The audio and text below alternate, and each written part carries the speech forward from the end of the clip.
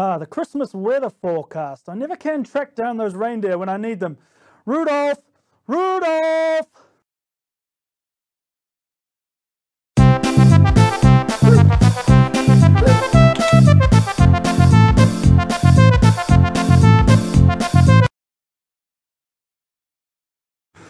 The gift of Christmas weather. Who's been naughty? Who's been nice?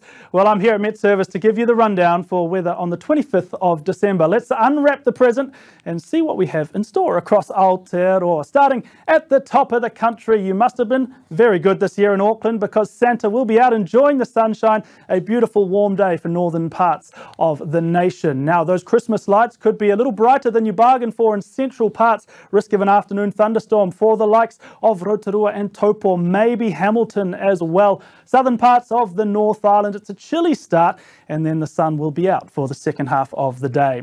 Rain could play Grinch for interior parts of the upper South Island. We've got a little bit of uh, shower activity through the mountainous areas, maybe hitting Nelson and Westport as well. A chilly start through Christchurch, not cold enough for a white Christmas, and then Santa's out in the sunshine for the afternoon. A crisp day down in the lower South Island, and I'll tell you what, Santa and the reindeer, you got a little bit of turbulence to navigate around the with some strong winds developing in that region.